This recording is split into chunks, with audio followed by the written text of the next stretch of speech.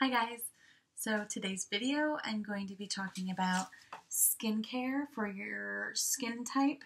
Now I do know that there are more than just three, but I'm going to go through the three basics, which are oily, dry, and combination skin. So today I'm going to be going through some of the basics about skincare um, for your skin type.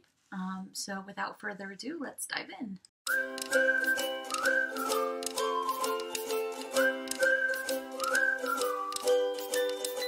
Now with any skincare routine, you should always put your hair back. I usually use a clip. Um, I recently got this headband. I do like it. It's very um, chic pink um, for my chic self.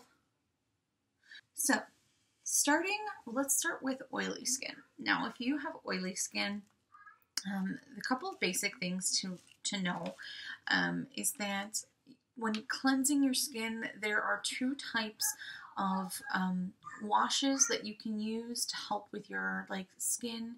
Now, if you have black or white heads, you want to cleanse um, with salicylic acid. I think that's how it's pronounced. I'm going to put it up here.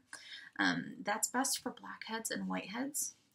If you have um, acne that's like pus filled or red irritated bumps, benzoyl peroxide works better for that. Um, that's like the number one prescribed um, product for dermatologists for acne. Um, so when you use a cleanser, um, if you have those type of, of issues on your face, depending on what you have, you want to have a cleanser um, that has either the salicylic acid or the benzoyl peroxide to put in there. Okay, so in terms of steps for oily skin, um, to do, you would want to cleanse. Now, cleanse both AM and PM. Um, cleanse uh, with a cleanser. Like I said, if you have acne, you know the certain types, either uh, cleanser with a salicylic acid or the benzoyl peroxide can help um, with your types of acne. Otherwise, a basic cleanser can work. Now, I do um, have an exfoliating um, cleanser, which kind of is like two steps in one. Um, this is one of the ones that I use right now um, from Philosophy. Um, it's a micro exfoliating daily facial wash. And it smells divine. It smells like oranges, like orange peels. It's great. And then you want to use a toner. Again, if um, you have uh, oily skin, um, the lactic acid, the glycolic acid, or the salicylic acid can help with it as well. Um, uh, a toner like this for sensitive skin can work uh, uh, for that. This is alcohol free. Um, one thing you always want to avoid is alcohol products because um, they tend to make the skin even more oilier. Oilier, is that a word? I don't know. But it can increase the amount. So an oil-free toner always helps. Um, and you want to treat the skin at night. You want to use a retinol product. Right now, I'm currently out of retinol, so I don't have anything to show for it. You do want to moisturize in the AM and PM. One of my picks is the H2O Hydration Oasis Refreshing Gel Moisturizer. Um, and then uh, add sunscreen. Um, even though um, you would think with oily skin you shouldn't add sunscreen, you do. In most makeup products, if you wear at least a foundation, have like an SPF 15 in there, so that's where you can add the sunscreen to it. Um, um, so those are um, the basic uh, steps uh, to take for oily skin for AM and PM. Now, little fun fact for oily skin folks you are more likely to ward off wrinkles and fine lines a little bit longer than those that have dry skin. You are lucky.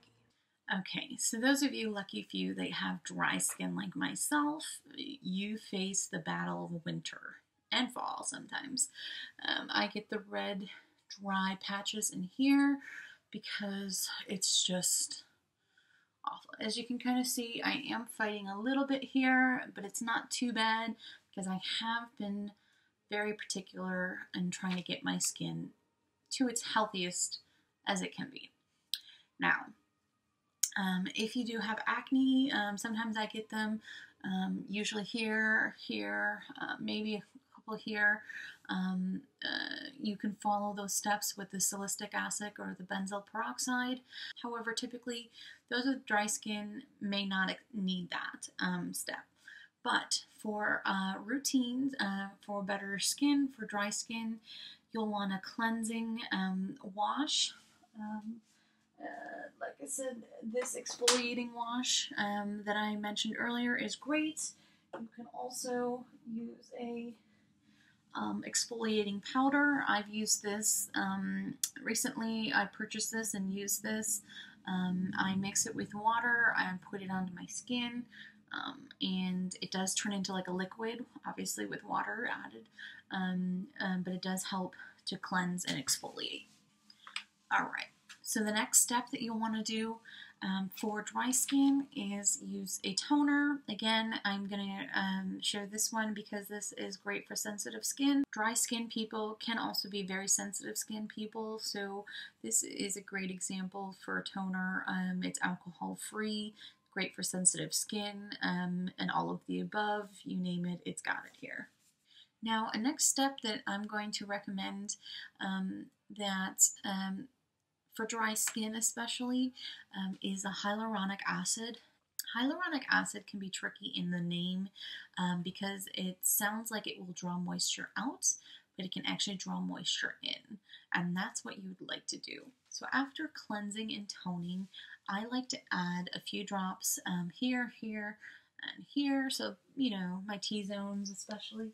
Um, I use the Good Molecules Hyaluronic Acid Serum. Um, this one has a dropper um, for, you know, putting on your face um, so that you're not overusing it. Um, let it absorb for about 30 seconds. Now this bottle is one fluid ounces. This was $6 on Beautylish, and I think this is one of the better deals that I found. Now next, what we do a little bit differently, um, in the morning you want to do an antioxidant serum, which basically any of the vitamins A, C, and E uh, you want to add to your routine. Um, now I have this vitamin C serum that I do love. This one's from Kylie Skin. Um, add to my face. Um, it smells like oranges. It's great. Um, you can add that. Um, and lastly, you want to moisturize. Um, I like to use um, the H2O Hydration Oasis as well as the Kate Somerville Wrinkle Warrior Hydration Gel. Um, this kind of does a little bit with wrinkles as well as hydrate. Um, now that's something that you can use AM and PM.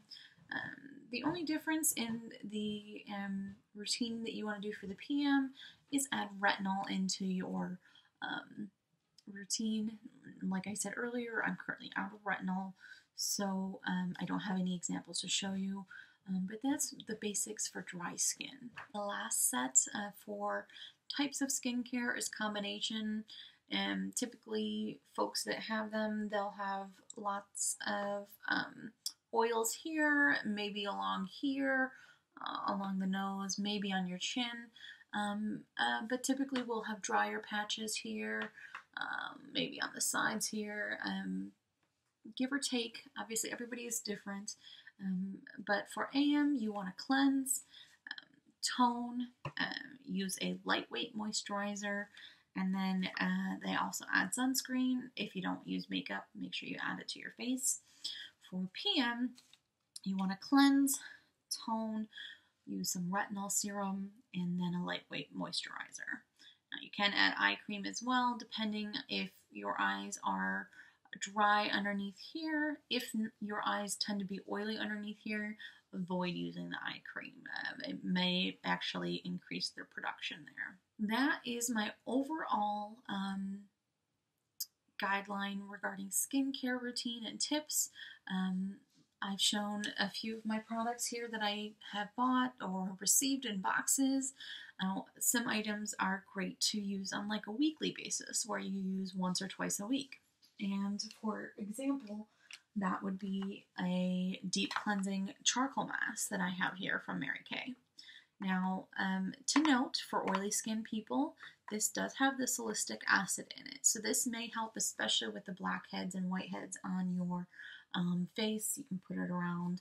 Um, but typically, this is something that you would like to do maybe once or twice a week. I wouldn't do it more than that because um, it may over irritate your skin. Um, but this charcoal mask is one of my favorites. Um, I did get this from Mary Kay, um, and it does help remove any unwanted um, blackheads in your problem areas. Now you can do your whole face. You can do your nose. Some people I like to uh, will do their nose, um, uh, wherever you may choose, and then um, that can help out uh, with that. If you like these types of videos, don't be afraid to like and subscribe if you haven't already.